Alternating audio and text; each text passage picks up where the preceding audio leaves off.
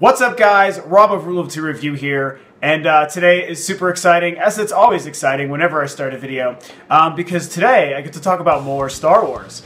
And you have to forgive me because it's been really slow in the gaming news front, so I know I haven't really made a gaming video in quite a while, and even my last one about my Amiibo unboxing was kind of a stretch. Um, there just really hasn't been a whole lot of news and a lot of things going on new with gaming to talk about. Um, and, you know, coincidentally enough, I had a reason to talk about the reveal of the title for episode 7 a couple of weeks ago, and now here I am with another reason to talk about the brand new trailer for Star Wars Episode 7 The Force Awakens. Um, it is now Monday, and the trailer released both online and in a couple of theaters on Friday. So I'm a couple days late. Um, I know everyone's been talking about it, geeking out about it, losing their minds, making videos, YouTube videos, and vlogs, and all this stuff. IGN did a rewind theater, which I think was kind of completely terrible. And I normally like their rewind theater, so that was kind of too bad. So everyone's been a buzz about it. Um, in case you stumble upon this video, I should let you know of the massive Star Wars fan that I am. And I know everyone says they're a massive Star Wars fan. Trust me, I'm a huge fan. My arm is literally covered in Star Wars goodness and with more to come. I am really, really dedicated. I'm passionate about the story and the characters in the universe.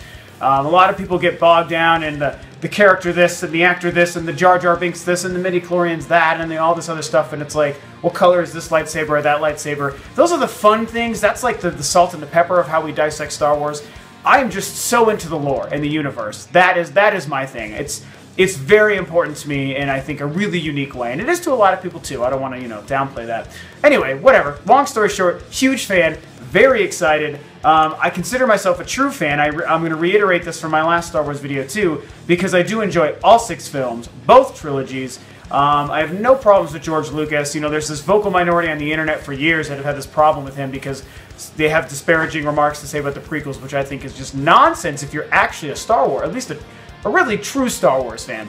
Um, uh, so anyway, point is, that is the kind of fan I am. So my perspective coming into this new trilogy and this first film of this new trilogy is pretty intense. And when the when the uh, trailer first rele was releasing on Friday, um, okay, let me go back a minute. We got the news that the trailer was coming a couple days prior to the release on Friday.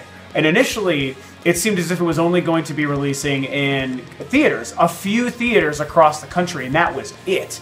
And I was so thrilled at that idea because I think this online trailer reveal thing is that is really common nowadays is I hate to say it, kind of bullshit because I think it's removing the power and the mystique of the big screen experience when you're in an audience and everyone can get excited and be like, I didn't know this was coming, or I didn't know I was going to see this trailer, or oh my god, look at these things I had no idea about. The internet has totally killed that mystique, and I think that that's too bad. So, and I say that as somebody, by the way, who my perspective when it comes to new trailers for big movies I really care about, I refuse to watch them online until I've first seen them revealed for the first time in a movie theater with a booming sound. It's covering my entire vision on the big screen. I got my best friends with me. I'm in a huge audience of other people getting excited. That is the way. I grew up that way. I refuse to let that part die for as long as I can hold on to it. So, you know, when it came to the Star Wars trailer, I was really like, you couldn't pay me a million dollars to watch that shit online. I am waiting to see it in a movie theater. Fuck all y'all. Everyone else can watch it online and just, you know, huddle over their computers and their phones and watch it. And that's fine. It, I have no problem with other people doing it. For me, my thing is to is to wait, especially with the re first reveal of any footage of the new Star Wars film. That was very important to me. So we had it being revealed initially only in theaters, and I was like, that is wonderful. That is this is the film of all films to you know bring back that true spirit of you got to go to the movie theater. You have to see this thing on the big screen. My excuse me in 2005, in the end of 2004, beginning of 2005. Uh, late 2004, the teaser for Revenge of the Sith premiered uh, before The Incredibles, and in early 2005, the full trailer revealed for Revenge of the Sith before the film Robots, the animated film Robots. Um, and at the time, myself, my girlfriend at that time, and a couple friends went to see both of those films at that time just to see the trailers. And that was when it was harder to get your news about these kinds of things on the internet, you know, even in 2005. But they let us know and we knew exactly what to do. And I think The Incredibles, um, we saw that just the two of us. And then when it came time for robots, there was a whole group of us, you know, friends and stuff that all got together to go see that. And then we went to talk about it afterwards. And that was great. Like, that was so much fun to think like, oh, the trailer's coming out, we're gonna go see any movie. Granted, The Incredibles was great, you know, but we're gonna go see just any movie just to see this trailer, and it was like a really fun thing. and it just kept that tingling buzz and excitement you know, within your nerdy self of, ah, new Star Wars, it's fun. And at that time, it was the last Star Wars, so it was like extra exciting. Um, and that was a great thing. And so I, I, felt like that was happening again. I was like, great, they're just going to put this in a movie that people have to do what we did now almost 10 years ago. And that was such a great, I have great memories of traveling just to watch Star Wars trailers for the first time. That was a great thing. And then we got the news the day before that, oh, don't worry, it's also going to be online tomorrow. And I was like, you motherfuckers, like, you just killed everything that had me excited for two days, you know? And also, I forgot about this point, extra excited because uh, we have a theater here in my local area. I mean, it was about half an hour away, but it's a, a, place I know really well that was playing. One of the nine or so theaters listed playing this trailer, so damn. I was like, perfect, I can actually go see it. I can travel to see it. And then they killed it by saying it was going to be online. Anyway, I've been rambling for a couple minutes. I'm sorry. I'm going to actually get to the goodness. Now I just want to talk about the fact that I've now seen the trailer. I waited, didn't see it Friday, didn't see it Saturday. Had, a, had my, my girlfriend and a couple other people. We had to find a time that we could get together to go see it together because I have some other friends who were willing to wait also to watch it in a, in a movie theater. And so, you know, last night we went to see a movie so that we could see the trailer in this theater. And um, so now I've seen it. Now I'm going to get to the meat, which you've actually probably been waiting for, for to hear me talk about. Um, what did I think of the of the teaser? Um, it was fantastic. It was wonderful. It gave me goosebumps, and I have just been nerding out over theorizing about what could possibly be going on with this new trailer. So, you know, my, my deeper thoughts about the trailer, I'm going to talk about probably the one thing I really didn't like about it, and I can't say I didn't like about it, but the one thing that bumped me out is it didn't have the Lucasfilm logo in front of it. And that sucks because that, you know, shiny, glowing, sparkling, wonderful logo of joy, when that thing starts and the music is just barely kicking up and it, you know, the little sparkles go across it and fill in the letters. That, I mean, is like ingrained in my soul as like the best moment. You know something great is about to be on screen. Whether it's a trailer or a movie, whatever. I associate that so seriously with Star Wars and the Indiana Jones movies. It's like, that should have been there. And all the previous trailers had that too, so I don't really know why that was taken away. I'll just chalk that one up to the fucking bullshit that Disney pulls with everything anymore. Star Wars related, you know. Again, I love Disney, just not with Star Wars. So, you know, uh, maybe that had something to do with it. I don't know. At the end of the day, it doesn't really matter. It's just something that's so personal to, and intimate to me. I really was excited to finally see that logo come up, and it didn't have that, so... But anyway, we've all seen it. You've seen it. You know it starts off in the desert, sand, it's got to be Tatooine, right? There's a couple other shots in the in the whole trailer that makes it feel like it's Tatooine. Um, and we see a gentleman who is dressed like a stormtrooper, John Boyega, the actor, um, from Attack the Block, which is criminally underrated. Great movie. Um, he pops up wearing a stormtrooper outfit. I maintain that, I mean, some people are calling him a stormtrooper, and I feel like it's more than possible that he isn't really a stormtrooper, but some crazy kooky events might have led him to be wearing a stormtrooper outfit. I don't know why I get that feeling because he's obviously so so frantic and rattled, you know, in that scene. So it seems like there's like larger things at play than just I'm a stormtrooper and I took my helmet off because I was hot. Like there's something going on, and I just feel like he isn't going to be a stormtrooper. Maybe he will be, but if I had to guess, I would say I don't think he is. I think something else. Maybe he's like in disguise, or was trapped somewhere and dressed as a stormtrooper to get out of, you know, so that no one would find him. Maybe they were pulling a Chewbacca thing. I mean, who knows? Like, who freaking knows? Anything could be happening there. So, you know, it starts off with him, and the the, the trailer is just wonderful because it the the uh, things that I was really worried about going into it is if it was going to look, feel, and sound like Star Wars. And I feel like between the six films and two established trilogies, there's a lot to pull from, but there is a level of consistency across all six of those movies that the look, tone, feel, and sound the oral and audible sensation of Star Wars all has to be intact for it to feel that way. And this is now, yes, it's Lucasfilm, but now it's part of this bigger company, Disney, and Lucas is involved as the story consultant, and it is like really his story, but at the same time, they've done a lot to change it. And it's a different filmmaker, a great filmmaker, J.J. Abrams, a different filmmaker making this movie. So before seeing any footage, I was just not quite sure how it was going to look, and that was you know probably one of my biggest areas of trepidation is will it feel and look like Star Wars?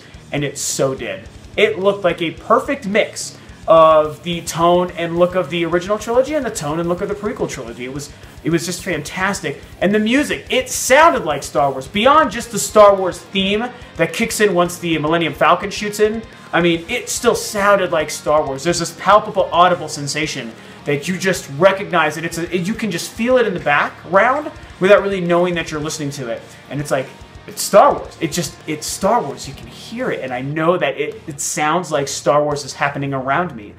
And just the, these little, these little booming crescendos, bam, bam, bam, those kind of things borrowed from uh, uh, moments in both Revenge of the Sith and Return of the Jedi score, you know, being implemented into these quick cuts in this trailer. Awesome so great. I mean, it, it was just so wonderful. And the quick shots of, you know, John Boyega in the Stormtrooper outfit. The, the other shots of the actual Stormtroopers is probably the other thing I didn't super love, and I'll get to that in a minute. You know, there's the rolling droid that everyone loves. You have pod rate. It's in the desert, and you can see a bunch of broken, like, pods and stuff in the background. I think that is such a, a really cool nod, you know, and a throwback to, to Lucas and to Phantom Menace, you know, and maybe even to Anakin's history. Like, I feel like that might have something to do with how the Skywalker legacy might be continuing in this new trilogy. Um, you know, that was like really, really cool to see that stuff. Everyone loves that little droid. Um, some people think he's going to be really important. I feel like he might just be like a random droid, like a, um, you know, like an establishing character within like some scene at in Tatooine or maybe in Mos, I- Mos Eisley or Mos Espa. I don't know. It, it, might not be Tatooine to be fair, but it's all but confirmed. It's basically Tatooine. Um, you know, and like all these things are happening. I think it's so great. We of course cut to okay. There's the two Actually, there's a, there's a couple money shots now that I think about it. Where would I want to go next? Um, obviously, we have... Okay, let's get to the big money shot, which is this, this character that's walking through the woods that we cut to. Um, and it's a snowy forest. It's nighttime, clad all in black. Not 100% sure it's a male. I've been discussing that a little bit, but I, I feel like this one, I feel like he, it is a male. Um, probably a dude, who knows, some character walking through the forest and busts out a lightsaber. And then, of course, you know, everyone's losing their mind over this. You got the hilt that pops out also in lightsaber blades on the side, and some people are mad at it, and some people think it's great. It's fucking awesome. I don't know who thinks it isn't. Get the fuck out of here if you don't think that shit's awesome, because it's awesome. Very much reminiscent of the Darth Maul reveal from the first Phantom Menace, first Phantom Menace trailer, which was amazing. Um, and I thought that was really cool. However, Pay attention to it. Go and watch it again. And I'll, I'll make sure to have some pictures and stuff you can see here. Pay attention to that again because the blade looks very different. It looks more like a flame than it does a lightsaber blade. It's not a clean look. It's very much like a burning embrick kind of sensation that's going on with the actual long blade and then the two parts that come out for the hilt. It looks very different, and I don't know if that's going to be you know, in this in this you know empire ravaged future. I'm sorry, well, future from not our time because obviously it's a long time ago. Future from the previous two trilogies. Future, you know, this empire ravaged time where you know decades decades after the empire was doing what it was doing, and maybe even still doing what it's doing, which I think is the case. You know, and so and and the Jedi haven't really existed for now probably 50 some odd years or what have you. Luke was the first true Jedi to come back, you know, sometime in the past from this film in the beginning of Return of the Jedi, when he shows up as the first, it is the Return of the Jedi. That's what happened in that movie because of Luke.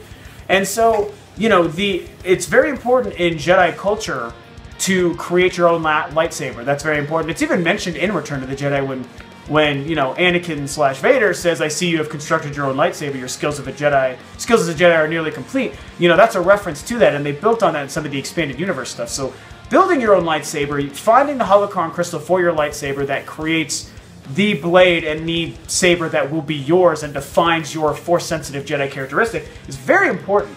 So when I think about a future, you know, of when the Force Awakens has taken place and how what force sensitive people or Jedi and or Sith are around at that time, I, I think it's interesting that there's no Jedi Order. There hasn't been a Jedi Order again for like what 50 some odd years probably by this time. So maybe the the art the art and the purity behind that craft is just dead. Maybe it's just people who are like Jedi. This would be borrowing from the expanded universe. They're like Jedi, but they're really just force sensitive rogue people. And they're like they're like building their own makeshift lightsaber the best they can because they didn't grow up in a time where the Jedi and the school and the council were relevant in weaning and raising Jedi's to be the real warriors and guardians of peace and justice in the galaxy like they're supposed to be. So it's really just like, uh, I have the Force and a lightsaber, and they just like make this thing, and so the ultimate end quality of the blade just might turn out differently. You know, it might turn out that way. That's that's my theory on that, and I think it's a pretty darn good one. So we see that. Is that a good guy? Is it a bad guy? Who knows? That's really exciting. Um, I, I, I have some theories, and there are some theories that it might be Luke. And that that's really cool because it would have been great to see Luke in this trailer. Um, if we were to see any of the three, it would have been nice to see him. But at the same time, I'm, I'm kind of glad we didn't see anybody. I don't think that was Luke. It just doesn't look like Luke. Um, he's going to be quite old, so I don't know if he's going to be able to move as nimbly and powerfully as that person. But then again, Yoda showed us what the Force can do for old, weathered human, you know, people. Obviously, you can overcome that pretty quickly if you're very strong in the Force. And Luke is probably going to be a badass in the Force come The Force Awakens, come this movie. So who knows? But I, my, I just don't think that that's going to be Luke. It would be great if it was, but I don't think that was. Um, so that's some of my theories on that stuff. Um, and the, the other money shots, you get the Millennium Falcon flying around these crazy swooping camera angles, you know, following its crazy trajectory and stuff, which look amazing. It was the first thing that I was like, well, that looks less Star Warsy, just based on the previous cinematography shots and the framing Lucas had done in the old films, including even Kershner and Marquand in Empire and Jedi. It just didn't look like a lot of those shots, but you know, discuss with my friends a little bit more. Um, you know, some of the the second Death Star run with Lando in the Millennium Falcon and Return of the Jedi you know, reminiscent of that. Um, Obi-Wan going after Jango Fett in the asteroid belt in Attack of the Clones, reminiscent of that. The opening huge space shot battle of Revenge of the Sith, reminiscent of that. Lots of creative camera angles that are these swooping, flowing motions. So this is like a next step to that. This is a newer film now, so it makes sense that it looks this way. And it looks, you know, J Abrams is killing it in that respect. So that is very exciting. Just seeing the Falcon again is like, how is this even real? Like, it is almost just like, you don't mean that. You don't mean that. You're really putting the Falcon on screen. And we knew it. But once you actually see it, it's like, I can't believe it's actually right there.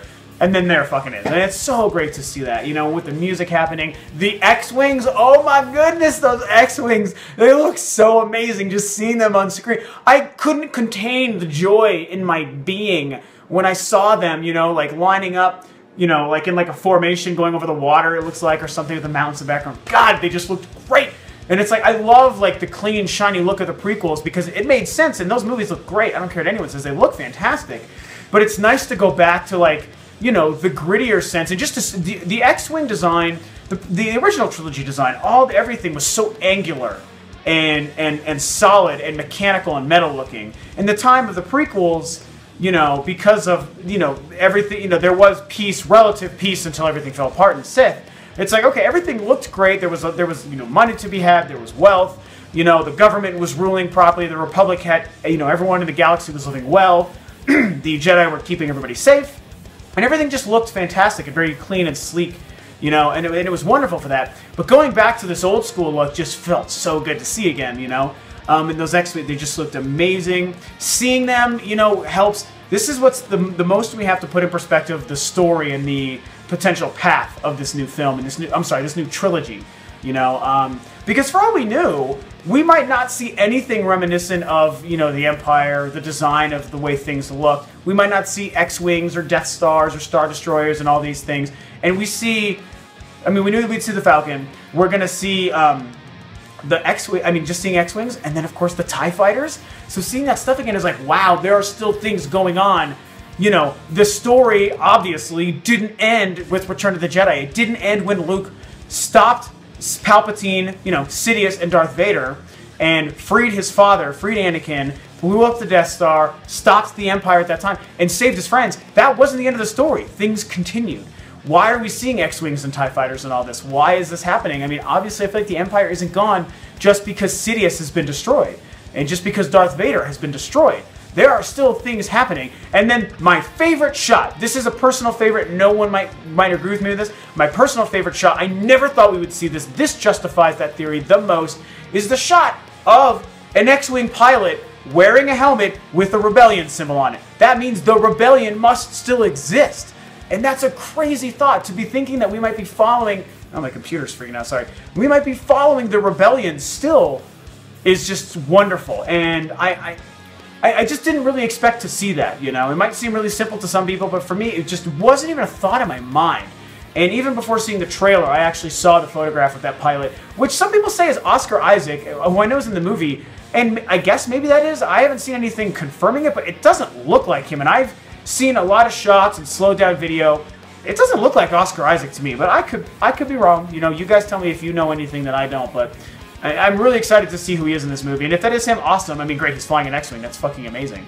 Um, anyway, I didn't expect to see that. And when I saw it, I almost welled up with tears. I was like, oh, it's so beautiful. Look at a, a new pilot wearing a rebe rebel symbol helmet in an X-Wing. Like, what the fuck? Like, that's so cool, you know? It, it could have been a totally different story. There could have been nothing really relating it to the old films. X-Wings, TIE Fighters, Pod Racers, like, we might not have seen any of those things, and we get it all. Um, we have Kois, we have a Kois, we have Kois. Um, I, I, know, my mind's going in a bunch of places now, and I'm kind of wrapping up really my ideas. I'm, I'm, geeking out about it, and I'm trying to like both theorize as well as just be excited, you know, at the same time. And it's all these things are happening and bouncing around in my head, you know. Um, the voiceover, the narration, which has since confirmed to be Andy Serkis, which I thought so going into it, um, is, is great. There's way, you know, when I first watched it, I felt like he said a lot. So it's like, oh, I can't wait to watch that again and really pay attention to what that what that narrator says. And then it turned out all he said was, you know, there's been an awakening, you know, okay, in the Force, obviously. Um, and, uh, you know, the light and the dark. And, you know, so he's, okay, talk about the light side and the dark side, Jedi and Sith, good and evil, okay. And that was like literally all he said. I was like, okay, wow, he really didn't say as many things as I thought he did, which is totally fine. Um, so, yeah, I, uh, you know, we see that female character, um, Rid- uh, Kinsey Ridley or Lindsay Ridley, I think her, oh shit, I'm a dick. Ridley is her last name. I, that's what I'm sure of. We don't really know her character. She looks like a regular Tatooine kind of. She's in like a Tatooine-esque kind of garb, which is really cool to see again too. Hops on this, you know, really weird, cool-looking speeder bike and speeds away. Another great establishing shot showing, you know, bringing us to familiar territory and a familiar sound and setting again, which is so cool to see. And this whole trailer all it was teaser was a tease. It was it was no complete shots. It was nothing that you could really really analyze more than I'm spending you know 25 minutes doing right now, and that's just because I'm going overboard in my analyzation. Um, really, it's just a bunch of like hints at things, and that's it. No real dialogue. We didn't see Luke. We didn't see Leia. We didn't see Han Solo. We didn't see Chewbacca. Lando, if he comes back, for all we know. Um, I'm waiting to see if maybe like you know Anakin comes back. I'd love to see something like that or Obi-Wan, uh, you know, Yoda. There's like a lot of potential for like a lot of these returning characters, you know. I would love to see like Ewan McGregor and Hayden Christensen come back in like a Force Ghost kind of thing, and yeah, I don't know, like something to. It, mostly because we can't have Alec Guinness anymore, you know, so that's not a possibility. So it'd have to be Ewan McGregor. Qui Gon, you know, maybe we see Liam Neeson. I would love to see some things, you know, further connecting it to, you know, going way, way back to the prequel time uh, my theory is that this is where I will end this incredibly long video about my excitement over the new Star Wars teaser. Um, my theory is, and I kind of said this before, I think what we're looking at with this third and final trilogy, I think this is the final trilogy of the Lucas saga, as I've said before, George Lucas's trilogy, you know, nine episodes. I think that we're looking we're look, going to be seeing a third and final generation of the Skywalker name, the Skywalker family, at least following the final name.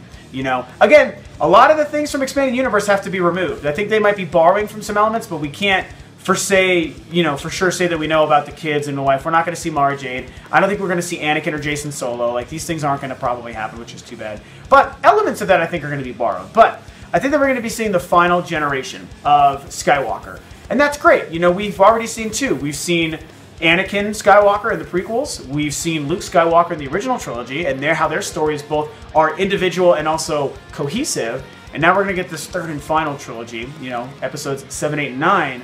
And obviously, it's time to continue that line. What happens next? You know, we're gonna have Luke in at least this first movie. He's involved, and Leia. You know, they're involved as Skywalker, Force-sensitive Jedi Skywalkers. Um, and what I would like to see happen my my not I don't, it's kind of a theory, but it's also more of a wish. I mean, I guess it could be true, but I would love it if the, the this new and last Skywalker was a girl, was a woman. I would like it if it's not the son of Skywalker, it's the daughter of Skywalker, and she could be the new hero of the rebellion and of the well, I guess I can't say the Republic, you know, of of the Jedi. She would have to be a Jedi. I would love to see that. It's not like mandatory. I mean, honestly, even a, the, a, new Son of Skywalker would give me chills because the Son of Skywalker, Son of Skywalker, that's a great thing to continue. But I would love the idea if they switched it up. And like, why can't we see a? I mean, we've had you know both Padme and Leia were badass women, female characters in Star Wars films, but they were the only ones, and they weren't really warriors. They held their own. They were snarky and talked shit and got shit done for sure, and they were both awesome but they weren't the warriors that I think a true Jedi Skywalker, a female Skywalker would be. I want to see that. I want to see a, you know, 18, 20 year old young Skywalker daughter. A woman who will destroy evil and fight the Sith and hold her own and fuck up everyone in her path. And be and keep that nobility of the Skywalker name and the Jedi legacy alive. I think that would be great. So I wonder if that girl, whatever her name is, I'm a, such a dickhead, but that girl, maybe that's who she is. You know, there's another female cast as well besides uh, um, besides Carrie Fisher as Leia again, and um, I just can't remember. A lot of so many newcomers, you know. Um, Boyega and Adam Driver are the only ones I remember off the top of my head. Uh, Benedict Cumberbatch is rumored. Andy Serkis, we know, did that voiceover, and I have a theory about if he's playing somebody in the movie and who that voiceover was. But anyway, that's kind of my theory and my hope and wish. And you know, I really want to know what you guys think about that. What do you think is happening, could happen, and what do you think my idea or theory about a female Skywalker being this last Skywalker generation? I think that would be amazing. You know, just so cool. I think they would, and I just think that that the, that the stories and Lucasfilm and JJ and the other filmmakers will knock it out of the park. So I think that's it. I think I got it out. I had a lot to say, and it's it's tough because really my whole thing is that I just watched this trailer a couple times, and all I think about is what could be happening, where could it be going, and I can't wait to theorize again. I will always remember, and this is why I still love the prequels, despite you know the vocal minorities' disparaging remarks about them is I remember I was a teenager when those started, and when Phantom Menace came out, and we got so into it and theorizing about where the story was going to go next, leading into the new movie before we even knew anything about it. And then doing that again for the final film, that was so fun. Those three year gaps between those movies were like seriously probably the best memories of my life. And that's when I went from like, you know, just I like Star Wars a lot to super fan. Is I realized what this universe was capable of and what it made me want to do and think about and do with my friends when we hung out and talked about Star Wars. Like, that was great. And especially because we had the ability to connect it to the original trilogy. Now we'll have a new trilogy that we have the ability to connect to two previous trilogies. And so this first film is going to kick off a lot of great things and brand new memories that we'll all be creating for years and generations to come. And we'll be able to tell our kids, yeah, I remember two or three Star Wars trilogies, you know, and at that time there'll be fucking 100 Star Wars movies because Disney. Um, so, you know, it's, it's just a really exciting time. And I love that we can do this again. I just can't even stress to you guys. It means so much to me. Yes, I like to geek out over like the fun, the, the flavorful stuff. Oh, Millennium Falcon. Oh, lightsaber with handles. Yeah, yeah. And I mean, that stuff is great. But to me, it's also the characters, the story, the universe, the emotion. What will be happening in this new trilogy? That's what I can't wait to see play out. It's going to be awesome. It's just going to be so great. So anyway, I think I've geeked out enough. I think I've wasted 27 minutes of your time. Uh, so I'm going to let you guys get to it. Please, of course, share what it is you think below. Um, I'm hoping that you guys happen to watch this entire video after my five-minute rambling in the beginning. I hope you at least made it this far. Um, so yeah, let me know what you think, your theories, your thoughts on the trailer. What do you think about my theory about the Skywalker daughter? Thank you for tuning in to another movie video, and I promise when there's more gaming news, I'll be making some of that stuff pretty soon. I'll find something, I always do. So yeah, thanks for tuning in, and I'll catch you guys next time on another regular video for Rule of Two Review.